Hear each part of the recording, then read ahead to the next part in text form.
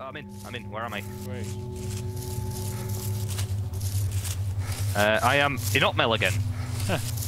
Right, so you're... Yeah, you want to go east if you want. Oh, hold on, hold on. Um, one sec.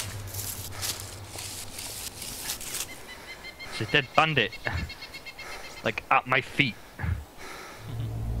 Why is there a dead bandit? He has nothing on him other than a Makarov PM.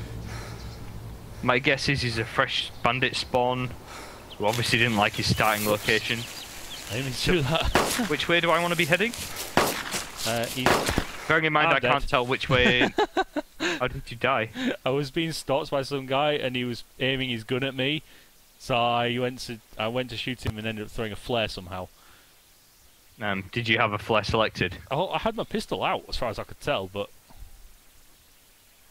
um, I'm guessing I had a flare selected. Yeah, I am. I'm about to die. well, that was a good start.